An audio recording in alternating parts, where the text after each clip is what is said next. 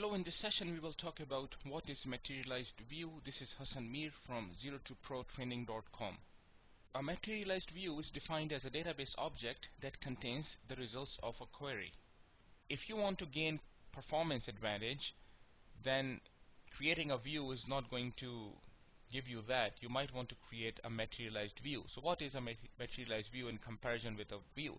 So if you create a materialized view, then the database management system will actually store the resultant data in a table-like structure called materialized view. It is not simply a window on the base table, it is actually a separate object holding data in itself, just like table. The sample command you would use in Oracle to create a materialized view. Now, obviously, since this is an object holding data, it is not a window anymore on the base table so now we have a refresh in the picture. A refresh has to take place periodically that will reflect the changes in the base table into this materialized view.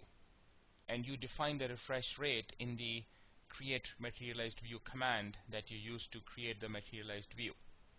So the bottom line is that there is a lag now in the refresh. In case of a view whenever you make any changes to the base table it would be reflected immediately in the view.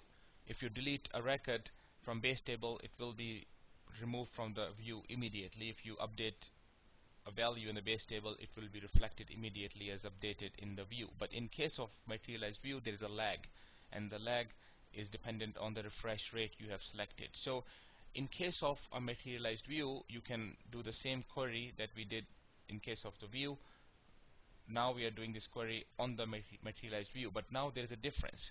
The difference is that when you do this query on the materialized view the underlying query is not run by the database management system.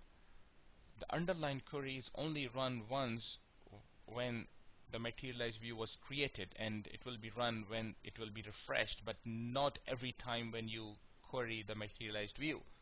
So this results into tremendous performance advantage. And indexes on the base table are obviously not being used when you're hitting the materialized view and uh, you can however create indexes on the materialized view itself because now like a table it's, it's, it's a structure holding data. So if you need a, a performance gain further you can consider creating indexes on relevant columns within the materialized view.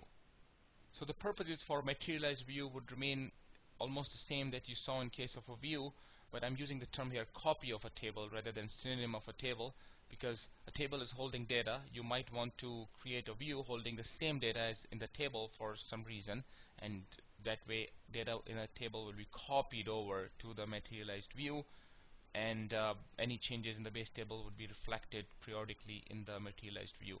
Other than that you can create a materialized view to reflect summarization of the detailed data in the base table or to create a subset of subset window on the base table.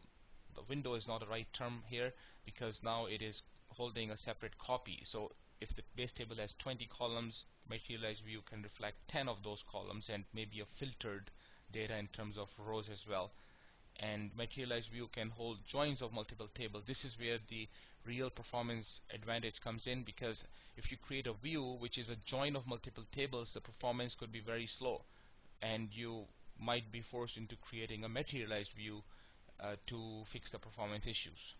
So here is a quick comparison between a view and a materialized view. A view basically gives you up-to-date data. So this is the biggest advantage of a view but gives you a slower performance for the reason I already explained because every time you call a view the underlying SQL is executed all the time. So if you are joining multiple tables in a view then every time the join statement will be called and it will slow down the performance. In case of materialized view the, the data is not so much up to date because there's a lag and you can control the refresh rate. However the performance is much much faster. Keep in mind that materialized views could be created on tables which are residing outside the database in a different database. So in that scenario a materialized view would, would be called a snapshot.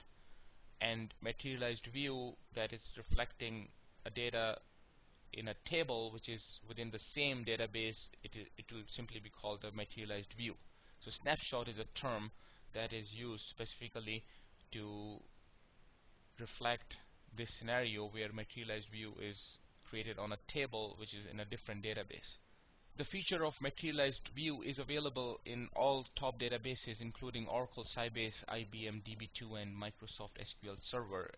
Oracle added this feature in release 8i and uh, the terms are sometimes used differently. In DB2 it's called materialized query table. In Microsoft SQL Server it is called indexed views. MySQL and uh, PostgreSQL they do not offer materialized view feature natively. However, we can create materialized view ourselves by using triggers and the programming language.